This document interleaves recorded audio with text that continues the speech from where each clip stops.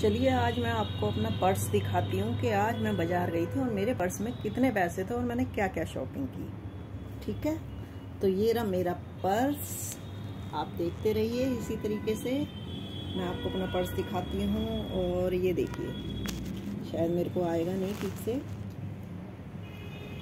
है ना? आपको दिखाई दे रहा है मेरा पर्स? ये देखिए। हम्म।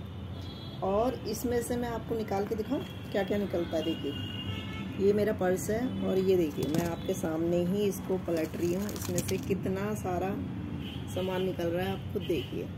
ये देखिए। पता नहीं आपको दिखाई दे रहा है या नहीं। ये देखिए। तो इसमें ये निकला है जी, ये देखिए आप। क्या क्या निकला है?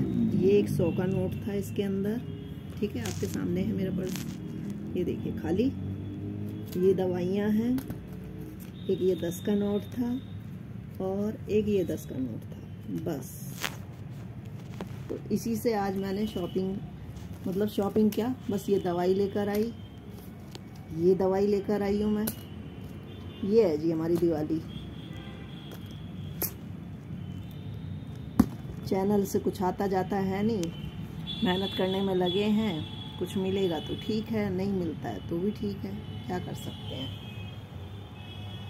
तो ये है हमारी कहानी पर्स खाली और हैप्पी दिवाली। पर्स हो गया खाली और हैप्पी दिवाली।